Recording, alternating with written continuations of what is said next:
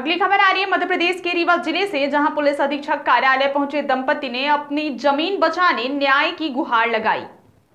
मामला विश्वविद्यालय थाना क्षेत्र के सोनौरा गाँव का है, जहाँ पुस्तैनी ज़मीन पर गाँव के ही सरहंगों के द्वारा कब्जा किया जा रहा है।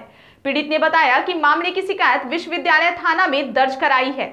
लेकिन पुलिस दबाव में कोई कार्यवाही नहीं कर रही है, जिसके चलते आरोपी जनबल का धौस दिखाकर उसे प्रताड़ित कर रहे हैं। पीड़ित ने पुलिस अधीक्षक कार्यालय पहुंचकर आरोपियों के खिलाफ कार्यवाही की मांग की है। आइए सुनाते हैं पीड़ित ने क्या जानकारी दी है। मेरा नाम सालेंद्र सेन है। शिकायत लेके आया हूँ ज़मीन के बारे में।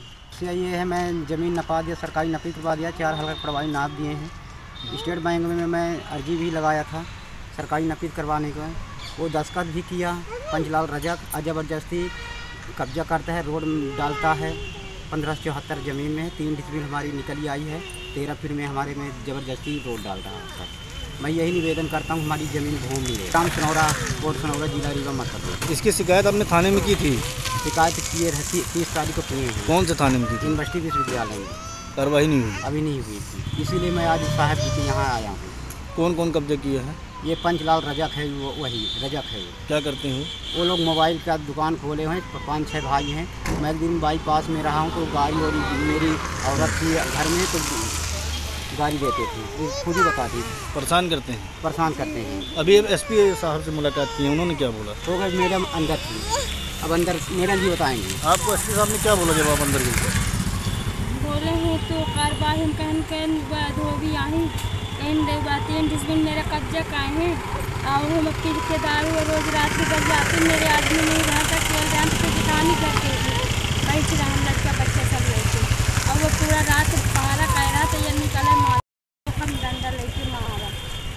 इसकी शिकायत आप कर दिए हैं अभी? जी हम मैं रिपोर्ट डाल दी क्या नाम है आपका? मीना से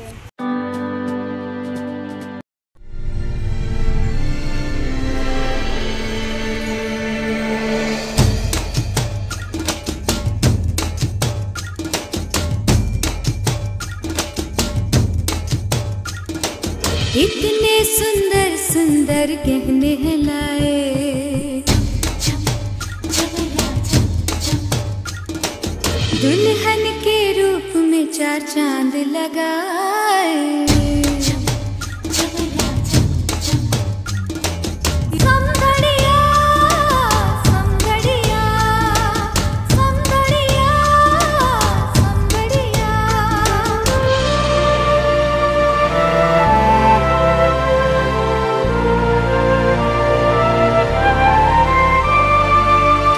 के रिश्ते को और गहरा बनाए। समदड़िया आभूषण का जादू है छाए।